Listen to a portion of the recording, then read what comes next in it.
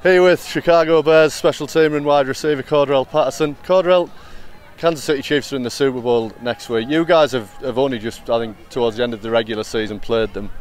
How difficult was going up against their defense? Because it felt like they improved a lot as the year went on. Man, just not just the defense, the whole the whole staff, the team, and the whole organization over there. It, it, it's just amazing what what Coach Reid is doing over there, and you know, sky's the limit for like guys like Patrick Mahomes and all his receivers he got, man. And it's just that team is amazing, man. But they playing against a great team, San Francisco, so it's gonna be a great game.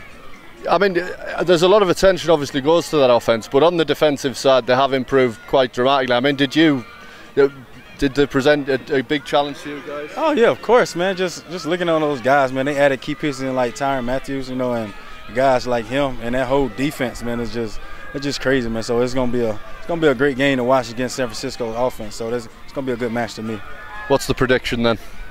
Prediction, I want to say it's gonna be a tie game the first ever tie Super Bowl. Now I don't know, man. I can't I can't predict no scores, man. I, I don't know. I just know it's gonna be a good game. And I'm and I'm gonna be watching.